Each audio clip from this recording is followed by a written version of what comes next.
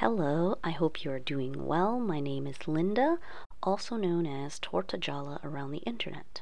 I love creative journaling and all things stationery.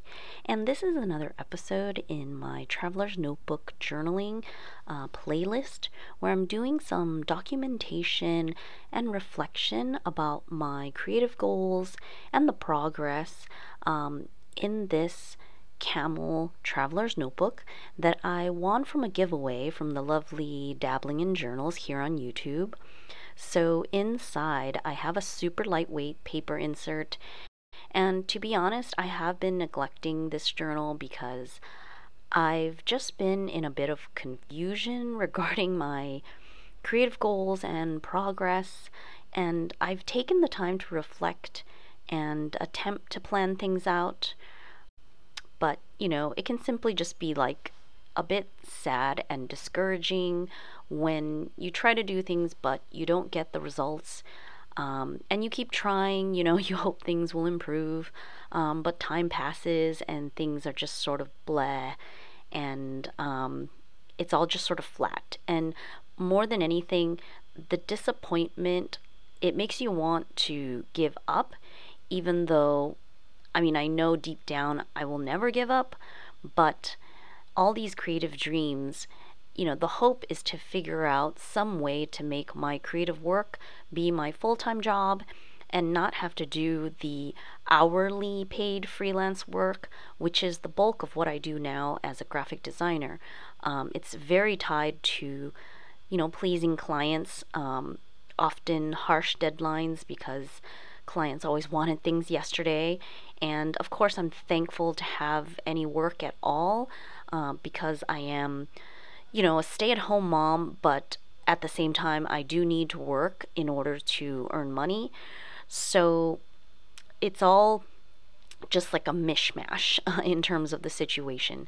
And my oldest child is over 11 years old. I have three kids, and I've been trying to work on all of this creative stuff, you know, side hustle for many years in hopes of building it up. Um, but, you know, all the while also life, you know. So, on one hand, I have to admit that perhaps I'm not getting the results because, you know, how much time am I really putting into it?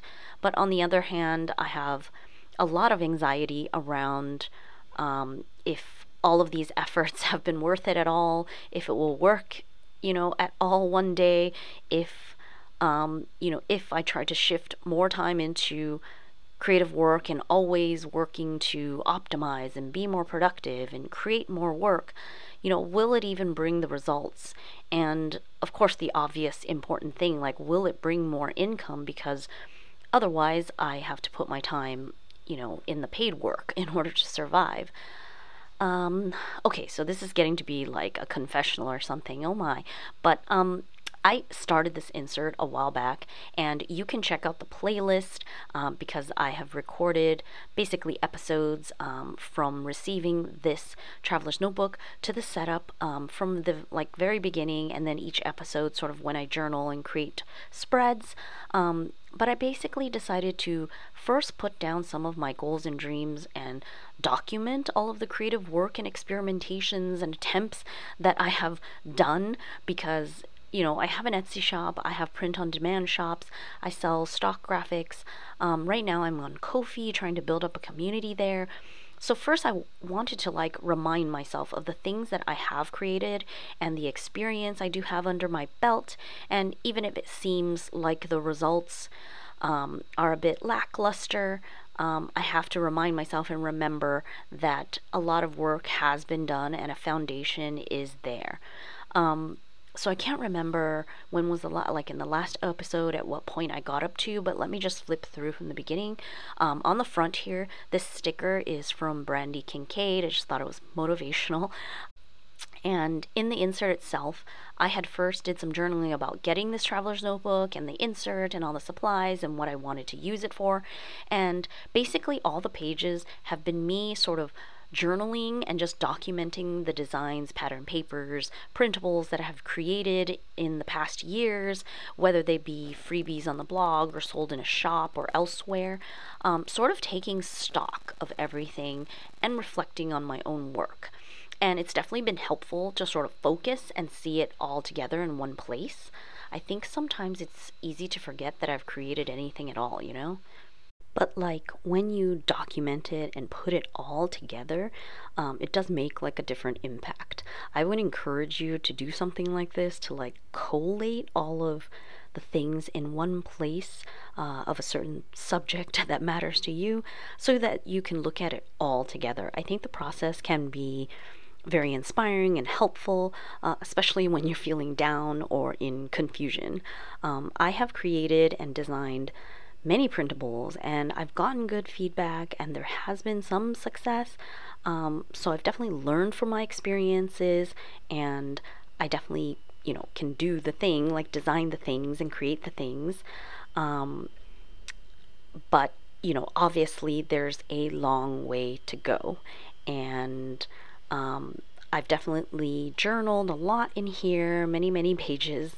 Um, reflecting on maybe what I could have done differently if uh, there have been, you know, failures or lackluster results, and just other points to consider. And really, I'm trying like to talk to myself. It's like having a meeting with myself um, to try and help myself to plan better for the future and take, you know, um, maybe more strategic action um, rather than just obviously going through and doing the same things because if you do the same things, you're going to get the same results, right? Um, so, of course, it's impossible to include like every single thing that I've ever designed in my life, um, but I think this is a good overview of the designs, like previews, paper packs, and things like that. Um, so this insert, it's part like documentation as well as, um, you know, journaling of my thoughts.